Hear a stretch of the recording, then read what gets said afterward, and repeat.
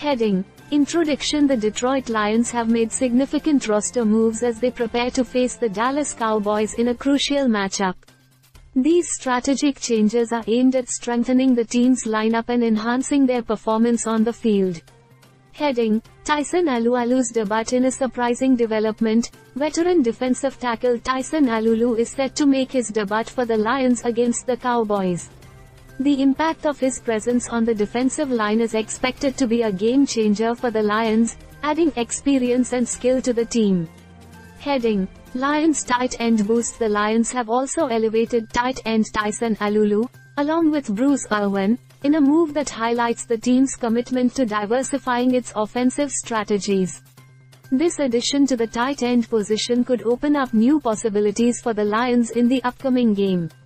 Heading Kicker signed, Fullback waived in another roster shakeup. The Lions have signed a new kicker to the active roster while simultaneously waiving a fullback.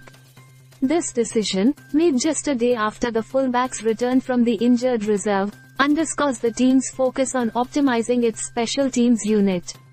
Heading Jason Cabinda's departure The Lions have bid farewell to Jason Cabinda, making the tough decision to cut ties with the player. This move has paved the way for the signing of Michael Badgley, providing a fresh perspective and skill set to the team as they navigate the challenges of the season.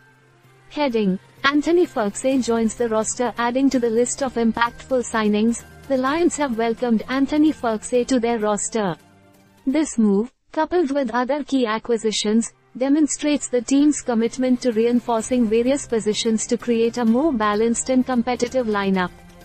Heading As the Detroit Lions gear up for their matchup against the Dallas Cowboys, these roster changes reflect a strategic approach to elevate the team's performance.